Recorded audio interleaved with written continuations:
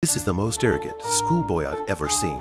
I didn't hand in my homework. Other poor students avoid the teacher when they see him. But he's good. He actually took the initiative to come over to look for scolding, and even wrote a review in advance. Not right uh. You have to write a check of effort. You write homework is not good. Class teacher Lao Miao angry enough. Just want to drink a mouthful of water to slow down.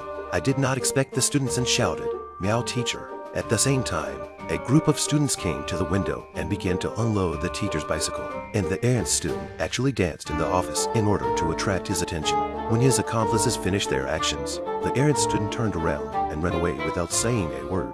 Lao Miao looked confused but couldn't figure it out. After work, he rode his bike home as usual, and then it became the laughing stock of the whole village. How big a grudge must this be? Lao Miao is the school's outstanding teacher, every year to get a commendation, but this year's new students, but led him heartbroken.